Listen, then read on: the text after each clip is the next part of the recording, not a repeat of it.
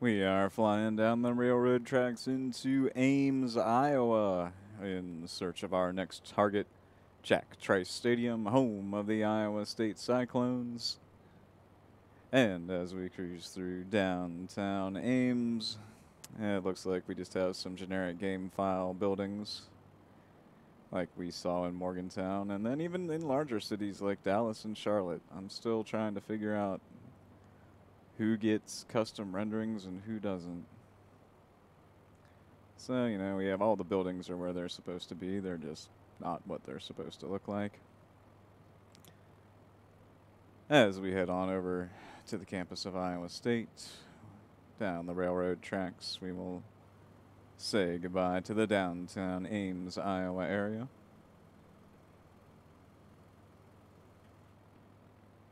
And we'll cross over Squaw Creek to a windmill. Ooh. I am easily amused, and windmills are something that amuses me. You can see a few, and you walk up the hill from my house here in Morgantown, and up on the ridge, they always make me happy. So let's cruise on through the blades of this electricity generating device.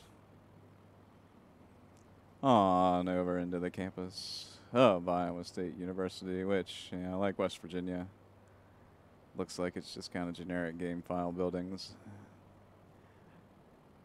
And I don't know why Lubbock, Texas got so much love. Stadium, campus, and all. Everything was uh, perfectly rendered. So as we cruise on through Iowa State, we can see the parking lots between the Hilton Coliseum, which looks kind of like an office building,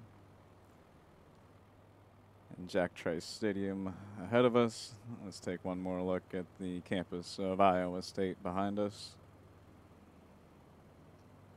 And see what's in store for us over here at Jack Trice Stadium, because it looks like we do have a stadium that's kind of surrounded by office buildings, but oh well, that's fine. We can work with that. That's better off than uh, we ended up in Morgantown, and even sometimes what we find in NFL stadiums.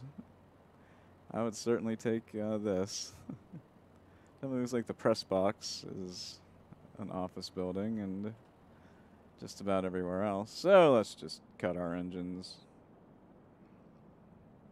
and cruise on in here to Jack Trice Stadium here in Ames, Iowa, home of the Cyclones for a nice soft touchdown. And yeah, I mean, if you're not going to have a custom rendering, I'd rather have something like this. The stands aren't really there; they're kind of the hillside, and you have some buildings around. But yeah, it's better than Mountaineer Field, so I would take it. hit that like, hit that subscribe. We fly around, we check out cool places. Uh, we like landing in football stadiums and other kind of stadiums, and just anywhere really. Thank you for watching.